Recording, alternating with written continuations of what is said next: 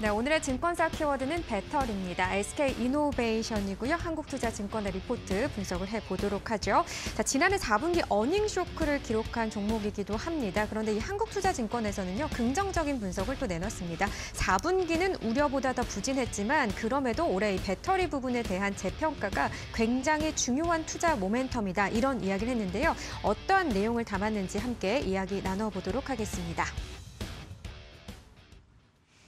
네, SK 이노베이션 증권가에서 리포트들이 줄줄이 오늘 나왔습니다. 그런데 좀 엇갈리는 반응들도 있는 것 같아요. 네, 사실 지금 이제 배터리 관련주가 시장에 엄청 많잖아요. 예. 그리고 배터리 시장이 성장한다는 거 모르는 사람도 없는 거잖아요. 예. 근데 문제는 이제 가격이었던 거거든요. 음. 그래서 valuation적인 부담이 있으면 성장에 대한 기대감이 있어도 선뜻 사기는 어렵잖아요. 음. 근데 최근에 어, 코스피와 코스닥 시장이 폭락하면서 배터리주도 같이 밀렸었던 그런 부분이 있기 때문에 이런 value 부담은 해소된 것 같아요. 성장에 대한 모멘텀이 확실한 종목은 가격 매력만 있으면 매수해도 괜찮다라고 생각을 하거든요. 예. 그런 관점에서 저도 SK 이노베이션은 장기적으로 긍정적인 전망을 말씀드리고 싶고요. 일단 이번 영업이익은 안 좋았죠. 네, 4분기 영업이익이 473억 적자였습니다. 기존의 컨센서스는 영업이익 5천억이었는데 적자를 찍었으니까 이건 정말 엄청난 어닝 쇼크라고 보시면 될 것 같은데요. 어, 대부분의 산업 부분이 다 부진했습니다. 어, 정유 부분 영업이익 감소했고요. 화학 부분도 네, 제품 스프레드가 좀 악화되는 모습이었고 정제 마진은 이제 괜찮았어요. 괜찮았는데 어, 그래도 기존의 이제 화학이라든지 이런 부분에 악재를 만회해 주진 못했다라고 보시면 될 것 같습니다. 그래서 배터리 부분의 영업 손실은 3분기 대비해서 3배 증가한 3천억 원 이상을 기록하게 되는데요.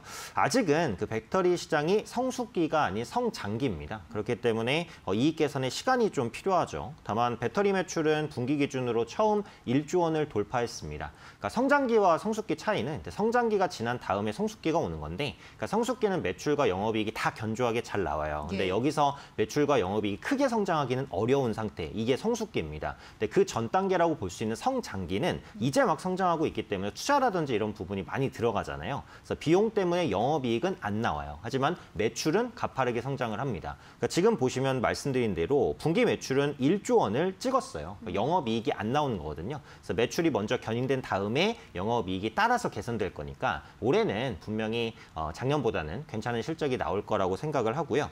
또 정제 마진이라든지 재고 차익에 대한 전망도 긍정적입니다. 그래서 글로벌 원유 수요를 보면 지금 코로나 19 이전에 어, 악화됐었던 그런 부분들을 거의 다 이제 해소했다라고 보시면 될 것 같아요. 그래서 WTI 가격이 현재 배럴당 한 88달러에서 89달러, 거의 90달러 수준까지 육박한 상황입니다. 지금 인플레이션에 대한 리스크가 아직 끝나지 않았는데 이 인플레이션을 촉발한 것이 원자재 가격 급등에 따른 인플레이션이거든요. 그래서 이런 부분들은 당분간 해소는 안 됩니다. 그래서 그렇다는 것은 여기서 유가가 뭐 더 가파르게 오른다 이렇게 보기는 어렵지만 떨어질 가능성도 거의 없어요. 그래서 현재 유가 수준이 유지될 것으로 보기 때문에 최소한 3에서 6개월은 어, 재고 차익에 대한 기대감을 가져갈 수 있다라고 보고 있고요.